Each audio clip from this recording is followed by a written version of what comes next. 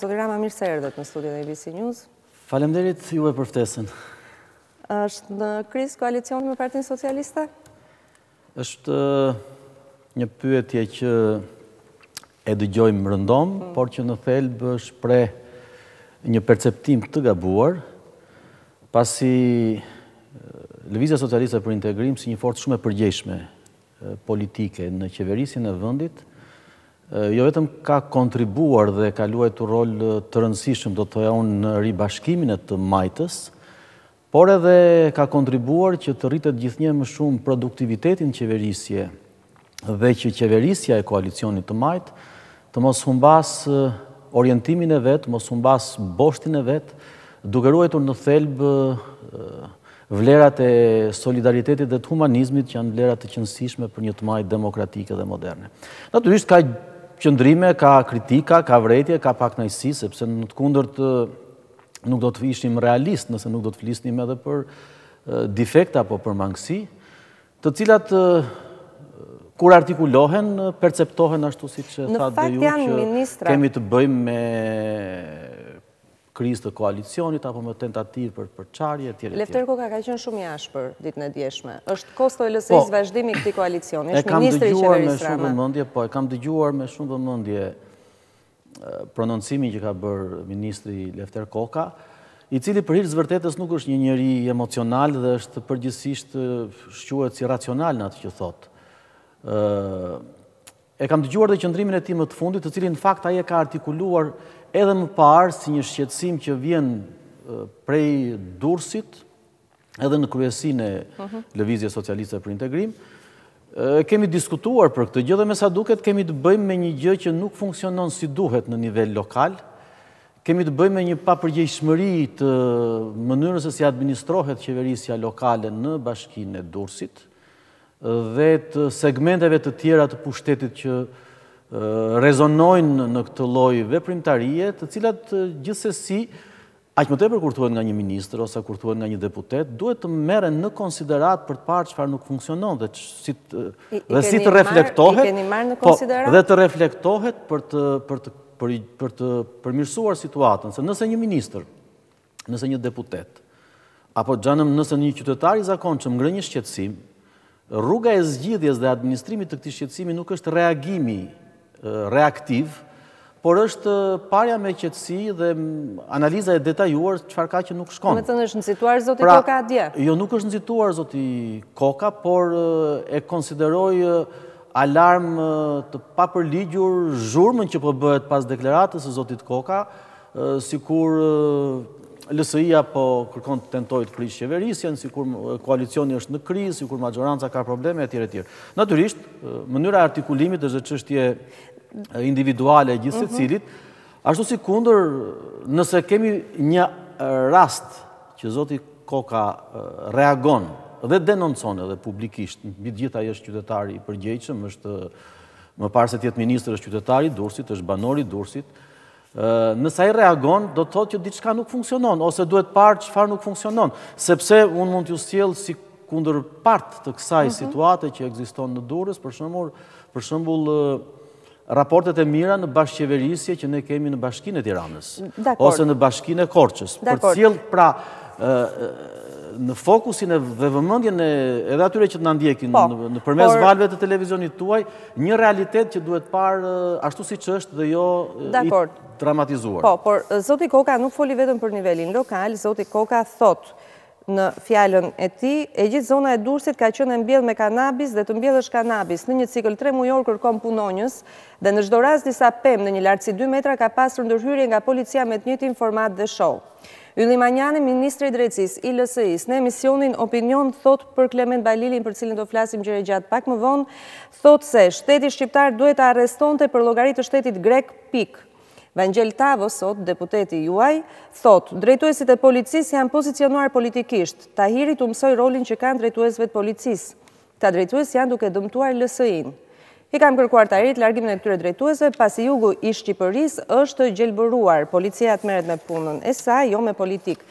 Shqetësime të ngritura nga dy ministra, nga një deputet. Atëherë, më lejoni t'i marrim me radhë ato që ju referuat, për rendin. Për ta bërë më të qartë edhe për shikuesit, për publikun, se cili është qëndrimi i Lëvizjes Socialiste për Integrim, pasi unë jam këtu në emër të Lëvizjes Socialiste për Integrim. Ju thatë që Zoti Koka ka thënë që është mbjellë Durrësi me kanabis. Po. Unë po them është mbjellë gjithë Shqipëria me kanabis. Dhe kush e thotë kundërtën e kësaj? Nuk e thotë as qeveria, madje nuk e thotë as kryeministri, përkundrazi, vetë policia, ministria e brendshme, publikon herë pas here filmimet që ajo bën operacione pa fund punonjësit e policisë duke prerë apo duke korrur kanabis. Pra, zoti Koka ka artikuluar një realitet që është i prekshëm nga çdo qytetar shqiptar, jo të nga zoti Koka. Jo, se të tre zotërinjtë thonë që bashkëpunon policia, këtu nuk thonë që po e lufton policia. Një minutë, po më lejo të shpjegoj, domethënë, nuk ka thënë një të pavërtetë, zoti Koka. Mhm. E para, e dyta, çështja e kanabisit, apo e kanabizimit të vendit, nuk është një fenomen i ri. është një fenomen kriminal i shtrirë në kohë. Por, ajo çfarë është e rëndësishme, Dhe ajo që duhet të bëjë policia e shtetit, unë këtu flas me shumë përgjegjësi, edhe nga pozita e njeriu që jo vetëm e kam drejtuar atë ministri, por kam edhe një ndjeshmëri pozitive për të qenë gjithnjë në krah të policisë dhe në krah të institucioneve që mhm. zbatojnë ligjin. Ajo që duhet të bëjë policia e shtetit nuk është të korrë kanabis.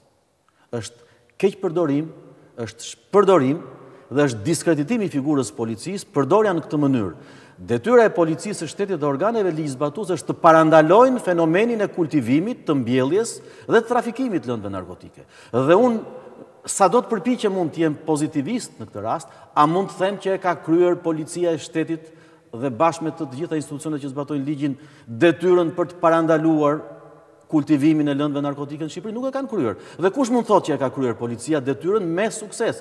Po t'i referohemi ligjit për policinë e shtetit. Po t'i referohemi të gjitha akteve që normojnë veprimtarinë e këtij institucioni, detyra e parë e policisë është parandalimi. Korrja është produkti. Kur s'ke çfarë bën nga halli, pasi e ke nuk po them e ke stimuluar, por pasi me mosveprimin tënd, ke injektuar këtë klimë të kultivimit të kanabisit në tërë vendin, atëherë, natyrisht, është e drejta e cilitdo të reagojë dhe reagimi i zotit Koka.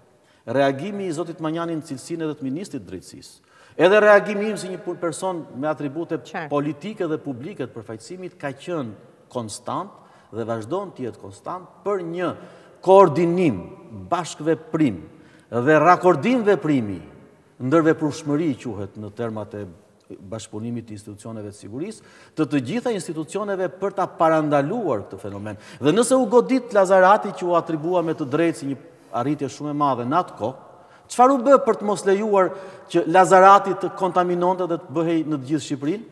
Nuk u bë ajo që duhej të bënte, pra nuk u krye detyra. Dhe në këtë kontekst, naturisht, reagimi është sot me këtë përgjegjshmëri për të mos lejuar që ky fenomen të rikthehet sërisht, sepse vijmë tani pak a shumë pas një ose dy muajsh në ciklin tjetër të rikultivimit të lëndëve narkotike, pra për t'i paraprirë dhe për të mos lejuar, apeli ynë është të parandalojmë sot atë që nuk duhet të ndodhë nesër. Natyrisht këtu ka, dhe unë mund ta them edhe për shkak të përvojës, Është e pamundur të kultivosh hektarë të tërë të lëndëve narkotike. Është e pamundur të mbjellësh me mijëra dhe mijëra rrënjë bimësh narkotike në hapësira pafund, në njësi administrative, në atë hapësirë të territorit që kontrollohet dhe është është padyshim përgjegjësi e organeve të policisë. Pra, mbjellja dhe nuk mund ta bësh këtë gjë, nëse grupet kriminale nuk kanë prapavijë politike ose mbështetje nga njerëz të strukturave të pushtetit. Dakord, nëse do të bënit një analizë të katër vjeçarit me Partinë Socialiste, rendi, le të themi është pika më e dobët, ajo që disa e shohin që po ju çon në krisje? Dëgjo, analiza e qeverisjes nuk mund të bëhet as mbi një rast, as mbi disa raste dhe as në mënyrë të improvizuar. Ne jemi tani në fund të mandatit 4 vjeçar të bashkëqeverisjes me Partinë Socialiste dhe është krejt logjike, është e udhës të bëjmë një bilanc. Dhe ne në strukturat e LSI-së po e bëjmë këtë bilanc për të parë çfarë është bërë dhe natyrisht janë shënuar arritje, janë realizuar reforma të rëndësishme, sepse progresi i vendit në përafrim drejt integrimit në Bashkimin Europian ka qenë i dukshëm dhe padyshim Pa dyshim që këtu ne kemi se çfarë të flasim dhe ky ka qenë edhe një kontribut esencial që ka luajtur Lëvizja Socialiste për Integrim në qeverisje. Ne jemi për ta bërë qeverisjen më të mirë dhe unë jam i bindur e them me bindje atë që në fakt e thonë edhe qytetarët dhe e percepton dhe publiku që me LSI-në qeverisja është bërë më e mirë. Pa LSI-në do të ishte më me kosto për publikun dhe më me kosto për qytetarët. Dakord, me LSI-në më e mirë, me Metën kryeministër, do të ishte edhe më e mirë? Nuk është çështja kush do jetë kryeministër, Meta, Rama, apo nuk e di se kush. Koalicioni nuk është çështje individësh. Koalicioni që ne kemi formësuar dhe më lejoni ta risjell në vëmendjen tuaj që në një prill bëhen 4 vjet nga nënshkrimi i marrëveshjes në Shkodër, ishte konkluzion i një reflektimi të përgjegjshëm të bërë nga drejtuesit nga Lëvizja Socialiste për Integrim dhe nga Partia Socialiste, për të bërë të mundur ribashkimin e të majtës dhe krijimin e një koalicioni vlerash, kontributesh, angazhimesh dhe përgjegjësish të të gjithë të majtës moderne shqiptare në funksion të përballimit të sfidave të qeverisjes. Çështjet e individëve apo emrave individualë kalojnë në plan të dytë dhe më lejoni ta përsëris duke iu referuar dhe pyetjes tuaj në fillim që Një gjë që ne e kemi krijuar vetë. Një marrëveshje për të cilën jemi investuar politikisht dhe në të gjithë kapacitetet njerëzore që ka LSI-ja. Pra krijimi i marrëveshjes për koalicion, për ribashkimin e të majtës. Një gjë që ne e kemi krijuar vetë, nuk mund ta prishim, sepse LSI-ja asnjëherë nuk ka prishur marrëveshjet. Kanë qenë të tjerët që nuk i kanë qëndruar marrëveshjeve me LSI-në, Dhe ndërkaq, se çfarë bëjnë të tjerët është çështje e tyre, prej LSI-së nuk do t'i krijohet kurrë asnjë kosto të majtës dhe asnjë kosto qeverisjes. Po, në këtë koalicion është Partia Socialiste këta të tjerët. Partia Socialiste në një prill të 2013-ës e kuptoi gabimin që kishte bërë më parë dhe Bëri atë që duhet ta kishte bërë më parë në fakt dhe nuk ka arsye të bëjë një gjë të kundërt krahasuar me këtë që ka bërë. Ju nervozon afrimi i Çamëve me Edi Ramën, ndoshta kapja e 71-shit matematikor? Lejoni në aspektin etik të mos i referohem asaj që thatë ju afrimi i Çamëve. Si partisë çame, ndjesë, i PDIU-së, po. Ndër shqiptarët e Çamërisë, po. unë po. edhe personalisht kam miq të shumtë dhe jam edhe politikisht jam i angazhuar në mbrojtje të kauzës së tyre si një çështje esenciale që ka të bëjë me interesin kombëtar shqiptar, pikë së pari, dhe natyrisht me rikthimin në vend të një padrejtësie historike që është bërë ndaj popullsisë shqiptare të Çamërisë. Qartë. Kështu që, absolutisht nuk kam, jo unë, po askush në LSI, nervozizëm prej askujt, Dhe madje ne kemi qenë dhe e mbështesim afrimin në koalicionin e vlerave të gjithkujt që mendon se ka çfarë t'i ofrojë dhe çfarë të kontribuojë për përshpejtimin e ritmeve të reformave që integrojnë Shqipërinë në Bashkimin Evropian. E para, e dyta, duke qenë se jemi në vigjilje të zgjedhjeve, LSI-ja as ka marrë dhe as pretendon të marrë ndonjëherë votat e askujt.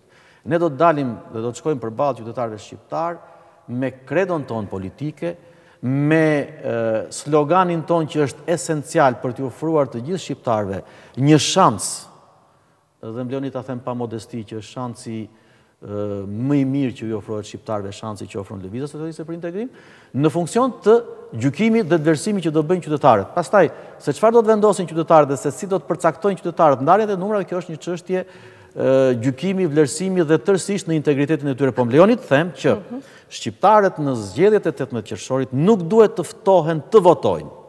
Duhet të ftohen dhe të lejohet të zgjedhin. Se të votosh është njëra anë dhe të zgjedhësh është ana tjetër. Dhe më lejoni këtu të prek problemin esencial me të cilin duhet ballafaquar realiteti dhe politika shqiptare sot, tek ajo që unë e konsideroj pa hezitim dështimi i reformës zgjedhore. Nuk janë reflektuar vërejtjet e bëra gati katër vjet më parë nga rekomandimet e OSBE ODIHR-it. Politika ka shprehur papërgjegjshmëri përballë sfidës së reformimit të sistemit zgjedhor dhe në këtë kontekst Çdo oscilacion, çdo tentativë për të politizuar, për të inkriminuar dhe për të keqpërdorur struktura të pushtetit apo institucione që duhet të jenë në shërbim të shtetit natyrisht është e dëmshme për cilësinë e zgjedhjeve. Shqipëria e ka kapërcyer Dhe nuk ka askush asnjë guxim më t'i referohet një praktike kriminale të pushtetit në raport me zgjedhjen sepse pavarësisht kërkoj ndjesë meqenëse nuk jeton më, po ka ikur koha e Gazidedes dhe çdo tentativë për ta kopjuar atë kohë apo atë realitet natyrisht do të jetë e dështuar për shkak të reagimit qytetar dhe të vetëdijes qytetare të shoqërisë shqiptare.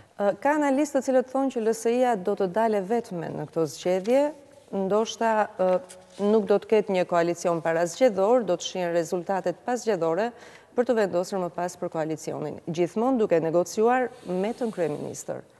Qarkullon kjo në. Është spekulative edhe një herë e theksoj, Lëvizja Socialiste për Integrim nuk ka asnjë prioritet nominal.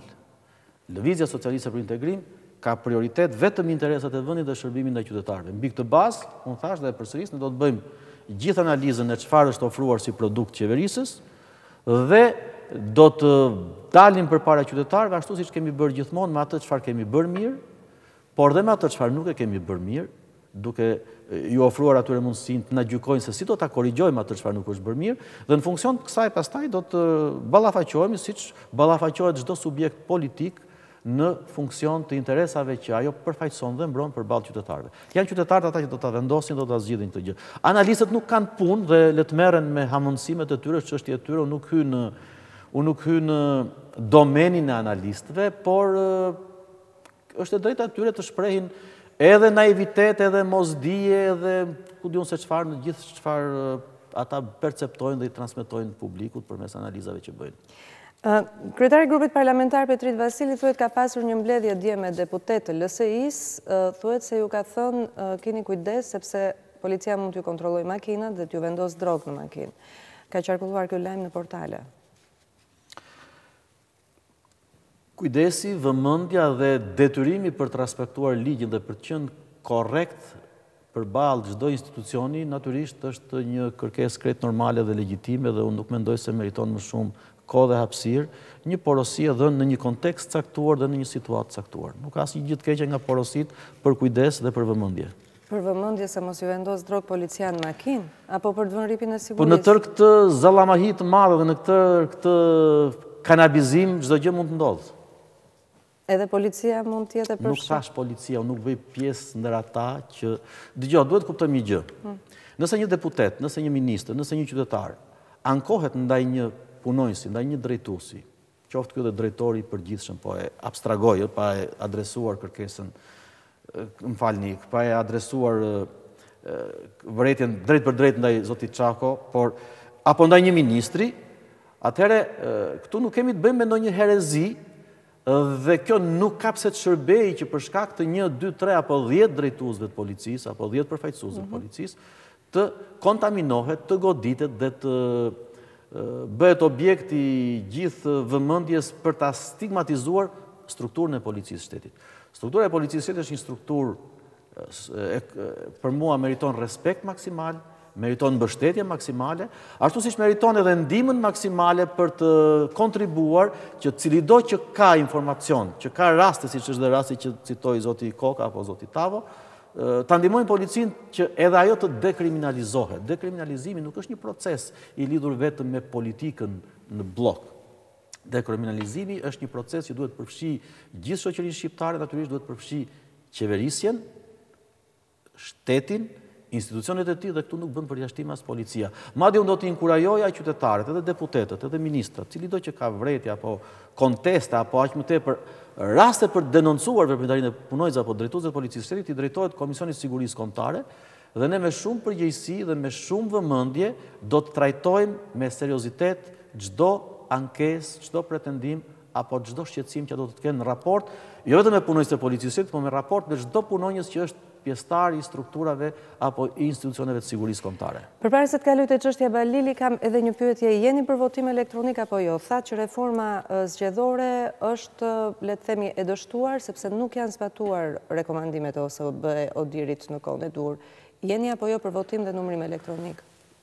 Po, e para një nuk ka ndonjë rëndësi sot, katër muaj përpara zgjedhjeve, se për çfarë jam unë.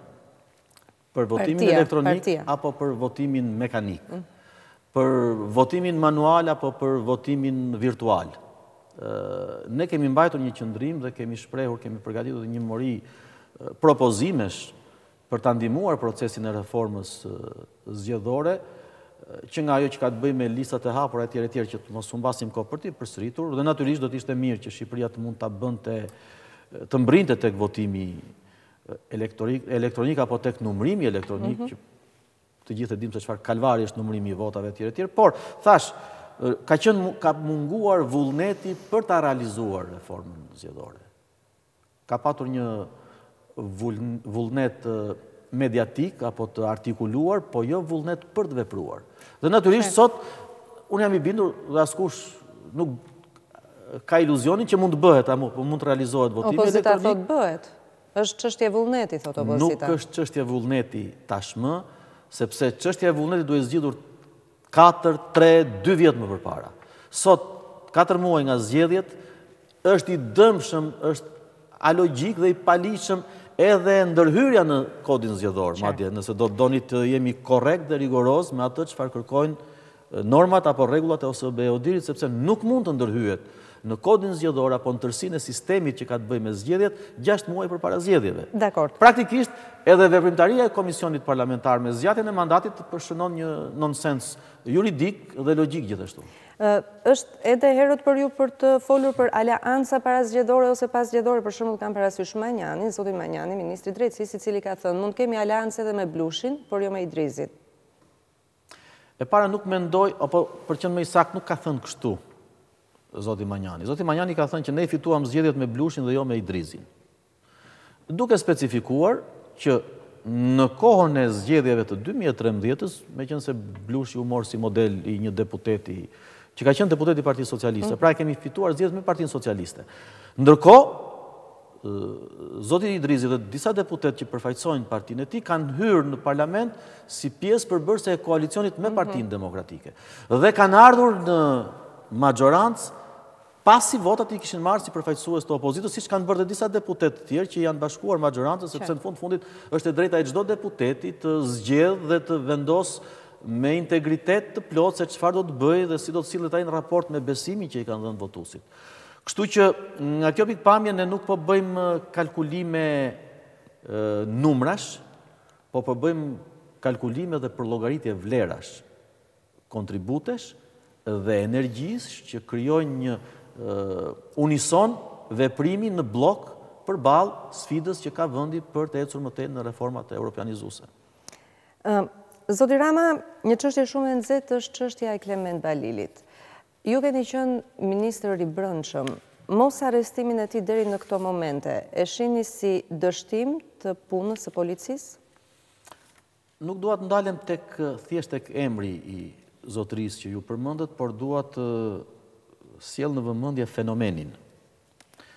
e veprimtarisë kriminale në këtë vend dhe të veprimit të strukturave të shtetit ndaj veprimtarisë kriminale. Natyrisht, kemi të bëjmë me një rast konkret që për shkak të dimensionit publik, politik dhe mediatik që pati tërhoqi vëmendjen me të drejtë. Dhe kjo vëmendje apo shqetësimi për të bërë të mundur që shteti të zbatojë ligjin ndaj këtij qytetari, ka mbërritur deri në kancelaritë e Bashkimit Europian dhe deri në Departamentin Amerikan të Shtetit nëse dëshironi ju. Dhe zotit Meta i është kërkuar, po, zyrtarisht të ndikojë, po, me gjithë autoritetin dhe personalitetin që ai ka, që institucionet e shtetit të zbatojnë ligjin për të bërë të mundur ndëshkimin dhe trajtimin ligjor edhe të këtij individi. Gjë që shteti kishte mundësi ta bënte, në kohën kur ambasadori amerikan, më lejoni të them që ka, ka bërë një gjë. Pra kemi të bëjmë me një presion pozitiv ndaj institucioneve për të bërë të mundur realizimin e detyrës në zbatim të ligjit. Dhe kjo nuk ka të bëjë thjesht dhe vetëm me policinë gjithashtu. Fakti që ai është drejtuar presidentit të Republikës për të thirrur mbledhjen e Këshillit të Sigurisë Kombëtare ka të bëjë me përgjegjësinë shtetërore të kryetarit të shtetit dhe të kryetarit të Kuvendit, po të doni ju dhe përgjegjësinë shtetërore të kryeministrit për të koordinuar veprimin e të gjitha institucioneve të sigurisë sepse edhe një herë më lejoni ta theksoj që lufta kundër trafikimit dhe veprimtarisë kriminale që ka të bëjë me trafikun e lëndëve narkotike ku përfshihet edhe veprimtaria kriminale e vetë trafikantëve nuk është çështje dhe përgjegjësi vetëm e policisë së shtetit por është përgjegjësi e një morie institucionesh. Por, për sa kohë nuk funksionon koordinimi i këtyre institucioneve, për sa kohë ka kundërvënje, madje herë pas here, për sa kohë një titullar policie flet kundër gjykatës dhe kundër prokurorisë, apo një titullar i prokurorisë flet kundër policisë apo kundër gjykatës, këtu nuk kemi të bëjmë me bashkërendim dhe me shfaqje të përgjegjshmërisë në përmbushjen e detyrës, po kemi të bëjmë me spekullim dhe me shpërdorim detyrës, kështu që nga kjo pikëpamje, kryetari i Kuvendit i është drejtuar kryetarit të shtetit në cilësinë e presidentit të Republikës mhm. që të thërrasë Këshillin e Sigurisë Kombëtare për të bërë të mundur, për të bërë një analizë, more Xhan, me çfarë ka ndodhur, pse ndodh që ky rast mori këto përmasa dhe pse ndodh që mhm. ky rast vazhdon të jetë ende një rast në kërkim kur në fakt ishte mundësia për të qenë ndryshe. Sepse, edhe njëherë më lejoni ta theksoj, çfarë do të thotë fakti që ambasadori amerikan në Tiranë, i ka kërkuar para 7-8 muajsh Ministrisë së Brendshme arrestimin e këtij personi. Do të thotë që kemi të bëjmë me një presion në sensin pozitiv të termit, për të bërë të mundur zbatimin e ligjit edhe në rastin konkret. Dhe më lejoni të theksoj edhe njëherë meqenëse janë bërë aluzione spekulative, që jo ky person, Por asnjë person në këtë vend apo kudo që të jetë ai nuk është i imunizuar dhe nuk ka asnjë mburojë nga Lëvizja Socialiste për Integrim. Lëvizja Socialiste për Integrim është shprehur qartë dhe më lejoni ta ritheksoj, është e po, distancuar. Është e distancuar prerë nga çfarëdo lloj individi apo grupe individësh që ushtrojnë veprimtari të mhm. kundraligjshme apo veprimtari kriminale në këtë vend dhe përkundrazi ne inkurajojmë dhe do të mbështesim maksimalisht policinë e shtetit Shërbimin Informativ dhe të gjitha agjencitë e tjera të zbatimit të ligjit për të bërë të mundur ndëshkimin ligjor të cilitdo individi, në çfarëdo lloj niveli qoftë ai në hierarkinë politike të Lëvizjes Socialiste për Integrim, e aq më tepër pastaj me njerëz të kësaj kategorie për të cilët ne e kemi shprehur qëndrimin tonë qartë dhe prerë. Cilido që shprehet ndryshe, spekullon dhe kërkon të përligjë paaftësinë dhe mosveprimin e vet në zbatimin e ligjit. Dakord. Ju e thatë, zoti Vasili, dëshmon... Se më fal, është bërë legjendë rasti i një drejtoreshe arsimi në Lushnje, më duket, para... Po. Pse nuk e mbrojti njeri atë, pse ajo u arrestua dhe nuk tha njeri, nuk e arrestojmë dot këtë se qenka e LSI-së. Pra e gjitha kjo është një alibi për të justifikuar mosveprimin në rastin më të mirë apo bashkëveprimin në rastin më të keq. Ju u distancuat sot, zoti Manjani mbajti një qëndrim, i ka vlerësuar kontributet që kanë dhënë të afërm të zotit Balili për LSI-në, gjithsesi nuk është ky thelbi. Po s'ka të bëjë kjo, kontributi i të afërmve është tjetër gjë dhe veprimtaria e çdo individi kundër ligjit është tjetër gjë. Nuk kemi pse t'i konfondojmë të dy termat, se ne nuk jemi në kohën e komunizmit që në rast se njëri nga fisi ndëshkohej apo dënohej me ligj, duhej të penalizohej i gjithë fisi pastaj për shkak të biografisë. Kemi ikur nga koha e biografive dhe jemi në kohën e zbatimit të ligjit. Dhe ligji ndëshkon cilindo, pasi përgjegjësia është individuale dhe ligji e parashikon ndëshkimin individual të cilitdo. Jeni shumë i qartë. Zoti Vasili dëshmon se ka qenë këmbëngulja e amerikanëve për të vënë në lëvizje Tiranën dhe zoti Meta me të ardhur nga Shtetet e Bashkuara ka kërkuar mbledhjen e këshillit të sigurisë kombëtare. Jeni në dijeni që kanë shteruar mjetet e tjera të komunikimit sepse amerikanët apo Ambasadori Braunfilld konkretisht mund të kontaktonte dhe me presidentin direkt, me kryeministrin, përmes qoftë edhe shkëmbimit të shërbimeve inteligjente mes dy vendeve, qoftë dhe mes ambasadës. Përse u gjet zoti Meta, në opinionin tuaj? Unë nuk di me kë ka komunikuar apo me kë ka kontaktuar ambasadori Braunfilld, unë di të them që në rastin konkret, jo vetëm prej atij, por edhe prej autoriteteve të tjera përfaqësuese në Shtetet e Bashkuara të Amerikës, i është kërkuar edhe një herë po e përsëris ndikimi për shkak të autoritetit dhe të rolit që luan zoti Meta në politikën shqiptare, pra ndikimi i tij pranë institucioneve, që institucionet të bëjnë detyrën. Dhe natyrshëm në këtë rast Zoti Meta, nuk mund të jo, pyes të më falni, nuk mund të pyes atë, a ia ke jo, thënë presidentit apo kryeministrit këtë gjë? Jo, jo, pyeta unë marr një mesazh, jo? unë marr një mesazh, në rastin konkret Zoti Meta, merr një mesazh, dhe reagimi ishte i përgjegjshëm, institucional, politik, publik dhe si shtetar, duke iu drejtuar kryetarit të shtetit. Dakord, ka reaguar shumë ashpër ministri i Brendshëm, Saimir Tahiri ditën e djeshme thotë, ky këshill nuk u mblodh për Lazaratin, ndërkohë që po mblidhet për një trafikant, që i ka ditët e numëruara. Edhe një herë më lejoni ta, ta, ta, ta, ta shkëpus shumë e vogël dhe shumë kështu cinike ta, ta adresosh problemin thjesht te një emër. Këtu kemi të bëjmë me një fenomen. Emri është përfaqësues i fenomenit. I njëjti reagim ndodhi, më lejoni ta shpjegoj, meqenëse Ministri Tahiri ka thënë që pse nuk u thirr Këshilli i Sigurisë për Lazaratin, po. Kur edhe ne si LSI kërkuam mbledhjen e Këshillit të Sigurisë për të analizuar fenomenin e trafikimit të mbledhjes, të mbjelljes dhe të kultivimit të bimëve narkotike disa muaj më parë, mhm. u stigmatizua dhe u bë ironi deri tek rrjetet sociale prej përfaqësuesve të qeverisë. Ç'është kjo kërkesë etj etj. Pra, në rastin konkret, nëse dhe unë jam dakord që duhej mbledhur dhe për Lazaratin, duhej mbledhur edhe për trafikimin e lëndëve apo kultivimin e bimëve e kanabisit, duhet mbledhur edhe për situatën e sigurisë në rajon, edhe për situatën në Kosovë gjithashtu, pra ka një mori çështjesh për të cilat duhet mbledhur Këshilli i Sigurisë, por unë vetëm mund të konstatoj sepse nuk kam asnjë atribut unë të kërkoj apo të të të sugjeroj se për çfarë duhet mbledhur Këshilli i Sigurisë dhe asnjëherë nuk është keq që të thashë arsyeja që pse zoti Meta ka kërkuar për këtë rast Është sepse edhe në vlerësimin e tij si kryetari i Kuvendit, edhe në vlerësimin e partnerëve rezulton të kemi një mungesë veprimi të institucioneve të zbatimit të ligjit.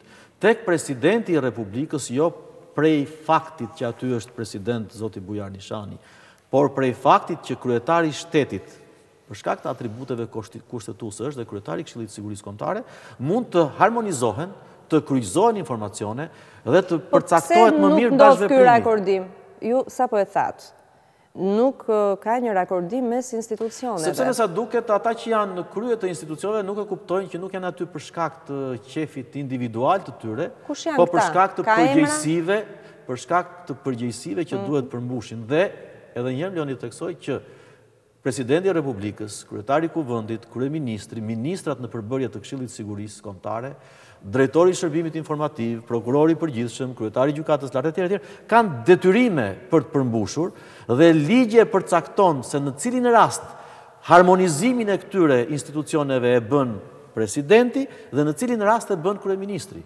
Kështu që ngado që ta çosh përgjegjësia për koordinimin e institucioneve të sigurisë shkon te Kryetari i Shtetit dhe te Kryeministri.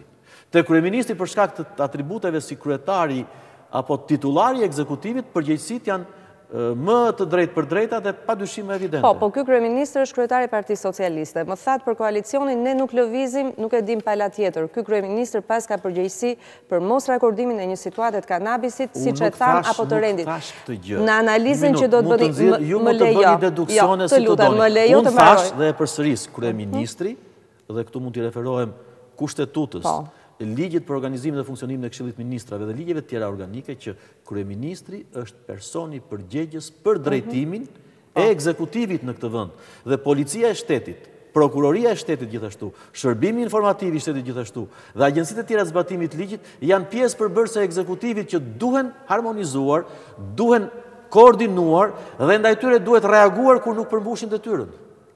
A mjafton një punë jo e mirë e kryeministrit që ju të thoni pjesa jonë e koalicionit nuk është aq sa, jo unë po pyes, nuk është në nivelin e duhur, ne e kemi bërë shumë mirë pjesën tonë në koalicion, por pjesa tjetër? Jo, nuk thashë këtë gjë. Nuk thashë këtë gjë. Jo, a mjafton thashë kjo analizë për të arritur këtu? Neve, pra LSI-ja ka luajtur një rol esencial në disa prej reformave kryesore apo kruciale, të themi, meqë është një po. term pak më international, mhm. që kanë të bëjnë me procesin e integrimit europian të vendit. Jo thjesht për reformën në drejtësi, dhe ju e dini shumë mirë që të mos i rikthehem asaj historie, për rolin që luajti Zoti Meta në mënyrë të veçantë po. për të mbërritur te konsensusi. Sepse ne vazhdojmë të jemi të bindur që konsensusi Bashkëpunimi, partneriteti dhe ndërveprimi janë vlera që shoqëria shqiptare dhe politika shqiptare duhet t'i demonstrojë. Jo kundërvënia, jo karshillëku dhe jo arroganca apo le të themi abuzivizmi me pushtetin. Sepse pashë një ditë në televizor, meqenëse nuk isha ditë në mbledhje, pashë një punonjës policie që këndonte himnin kombëtar në Komisionin e Sigurisë. Domethënë e para njëherë kjo është injoranca çon deri në këto dimensione. Himni kombëtar ka një ligj në Shqipëri për himnin dhe simbolet kombëtare. Dhe himni kombëtar nuk mund të këndohet dokudo dhe prej dokujtdo dhe dosido. Aq më tepër në një institucion të rëndësishëm siç është Komisioni i Sigurisë, askush nuk mund të sillet në këtë mënyrë. Cilido qoftë ky? E para, e dyta, pse vepron kështu një X individ? sepse është shenjë e arrogancës së pushtetit të titullarëve të tij, sepse ai e di që edhe kur sillet në mënyrë të paedukatë, edhe kur bën karshillëk ndaj ligjit, dhe kur shpërdoron ligjin për himnin dhe simbolet kombëtare, mbi të nuk është një shef që mban përgjegjësi dhe që mban qëndrim ndaj tij. Dhe kjo lloj arrogance duhet të marrë fund. Kjo lloj arrogance nuk i shkon, nuk i ka hije në mënyrë të veçantë një maxhorance të majtë që ka në në thelbin e vet solidaritetin, humanizmin, ligjshmërinë dhe vlerat e shoqërisë shqiptare. Po, titullari është Saimir Tahiri? Jo, nuk është titullari Saimir Tahiri, dhe mos e keqpërdorni atë që unë thashë, titullari i institucionit të Ministrisë së Brendshme është Saimir Tahiri, policët poshtë kanë titullarët e tyre, shefat, eprorët, shefin e sektorit, shefin e komisariatit, drejtorin e ku di unë, se atje ka një mori... Do të ndalem pak te reagimi... Por e solla këtë rast për të thënë që Për fat të keq ka një arrogancë. Është në vertikale kjo arrogancë. Ka një arrogancë në sjelljen e pushtetit apo të njerëzve të pushtetit ndaj qytetarit. Shihet në ekzekutiv kjo arrogancë. Po arrogancën e ka ai që është në ekzekutiv, se ai që është në OJQ çfarë arrogance mund. Jo, jo, flas ministrat. Më shumë ai që është në OJQ mund të përdoret për t'i bërë fresk arrogancës dhe për ta amplifikuar arrogancën e njërit apo tjetrit. Pra ka ministra arrogantë. Ka sjellje arrogante të njerëzve të veshur me pushtet. Dakord. Dua të sjell reagimin e kryeministrit Rama sot. Në Facebook shkruan, pas anketimit të bërë disa muaj më parë nga Komisioni Europian, Policia e Shtetit konfirmohet përsëri si institucioni më i besuar i shqiptarëve në indeksin e besimit tek institucionet. Rilindje, Shqipëria e gjeneratës tjetër, qentë le të lehin, karvani ecën përpara. Më falni, çfarë citon, kujt i referohet kryeministri në këtë rast? Komisionit Europian. Policia e Shtetit konfirmohet... Ka bërë sondazh Komisioni Europian. Po, dhe dele... Po, sondazh i Komisionit Europian. Anketimit, të bërë disa muaj, po. 33% të...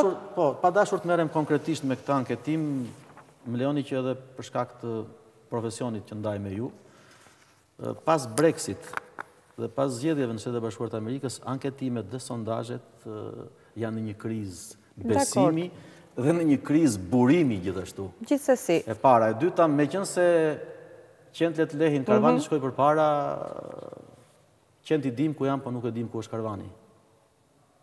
Metafora ku ishte? E Ksanti pyeste Ezopin Ezop çfarë do të thotë kjo? Kush nuk e kuptonte Ezopin nuk është faji im dhe nuk jam këtu për t'i shpjeguar gjuhën e Ezopit askujt. Qartë, mesazhi ka kaluar. Edhe njëherë, ka çështje të forta për të dalë nga koalicioni dhe njëherë, për të dalë vetëm, ose jo për të dalë ju nga koalicioni me PS-në, po për të thënë, ne nuk mund të jemi më bashkë. Ka çështje të forta, Ka arsye të forta, ka argumente të forta që e majta shqiptare, e majta moderne, e bashkuar për shkak të një roli specifik dhe përcaktues të Lëvizjes Socialiste për Integrim, të rikonfirmojë gjithë vlerat e veta si një e majtë moderne, europiane dhe e përgjegjshme përballë interesave të vendit. Ne do të vazhdojmë të kontribuojmë dhe ta mbrojmë të majtën ta pastrojmë të majtën gjithashtu dhe ta rrisim të majtën në funksion të interesave të qytetarëve dhe të interesave të vendit. Dakord. Analistët përsëri thonë është presion. Kush do të kapë kryeministrin? Presion mes Ramës dhe Metës. Është takuar Rama me Metën një herë që kur ka ardhur zoti Meta nga Shtetet e Bashkuara? Për shkak të një koincidence krejt rastësore, meqenëse pasi mbaruan punimet e Kuvendit ditën e enjte në darkë, m'u desh të shkoja në zyrën e zotit Meta në Kuvend, në sallën e mhm. Kuvendit. Prita disa minuta në paradhomë sepse brenda ishte kryeministri. Në sallën e... Në zyrën e kryetarit të kuvendit... Në kryesinë e kuvendit. Jo, në zyrat e kuvendit, ku mbahen seancat plenare. Në parlament. Ju shuajta një kuriozitet që lidhet me një rast konkret, ku kam qenë vetë i pranishëm, kështu që nuk ka arsye për ta komentuar më tej këtë gjë. Qartë, atëherë edhe njëherë për mendimin e analistëve që po i shtojnë presionin njëri-tjetrit kush kap 71-shin, 72-shin, se s'ka dhe ndonjë ligj shumë të rëndësishëm 4 vitet e ardhshme, thonë për të pasur 3 të pestat. Ka dhe një matematikë të tillë. Është, thashë, ne nuk nisemi në asnjë rast nga matematika, por nisemi nga logjika e detyrimit dhe angazhimit që kemi përballë qytetarëve. E para. E dyta, Lëvizja Socialiste për Integrim që prej themelimit të saj deri sot ka marrë gjithnjë votat e veta dhe i ka maksimalizuar këto vota duke i kthyer në kontribut për qeverisjen për stabilitetin dhe për integrimin dhe prosperitetin e vendit. Këtë gjë do të vazhdojmë ta bëjmë për aq kohë sa do të ketë Lëvizje Socialiste për Integrim. Unë ju falenderoj shumë, zoti Rama, për të gjitha opinionet që ndatë në studion e ABC News. Faleminderit edhe një herë për praninë tuaj. Më lejoni që unë t'ju falenderoj për mundësinë që më dhatë që këto opinione t'i ndaj me ju dhe me shikuesit tuaj. Faleminderit, do të jeni gjithmonë i